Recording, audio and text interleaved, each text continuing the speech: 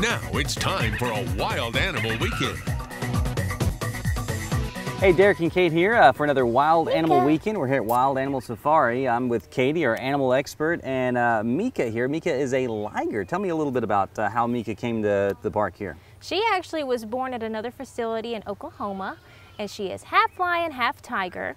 That is not something you're going to find in the wild. Right. Okay. So they are only uh, animals that you're going to see in zoos, right? Right. They're only born in captivity. Um, we don't breed them here, but we are so blessed to have Nika here. She is one of my favorite cats. She has the best personality. She's just a big sweetheart. Excellent. She's here in the walkabout, correct? She is. She's right next to our big Siberian and Bengal tigers, and she also lives with um, our white Bengal tiger, Athena. Gotcha. So all the big cats, except for the lions, you can catch out, uh, catch in the walkabout, right? Yeah.